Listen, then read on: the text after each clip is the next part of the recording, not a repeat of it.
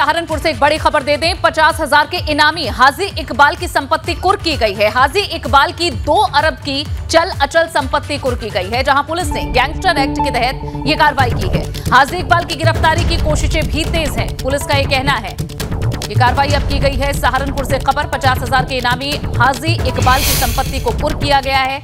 हाजी इकबाल की दो अरब की चल और अचल संपत्ति है। जिस पर यह कार्रवाई, पुलिस ने गैंगस्टर एक्ट के तहत यह कार्रवाई की है और साथ ही हाजी इकबाल की गिरफ्तारी की कोशिशें भी तेज हैं, ये पुलिस ने कहा।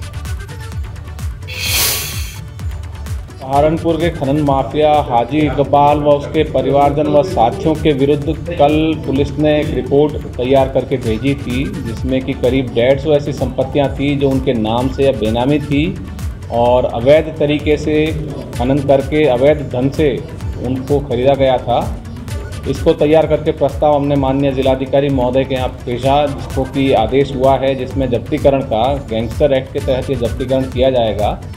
जो डेढ़ सौ संपत्तियाँ जब्तीकरण की जा रही हैं, उनकी बाज़ार मूल्य 203 करोड़ है और ये सारी संपत्तियाँ अलग अलग जगहों पर स्थित है जनपद में, जिनका कि चिन्हीकरण किया गया है और इसकी जब्तीकरण की कार्यवाही शुरू हो गई है।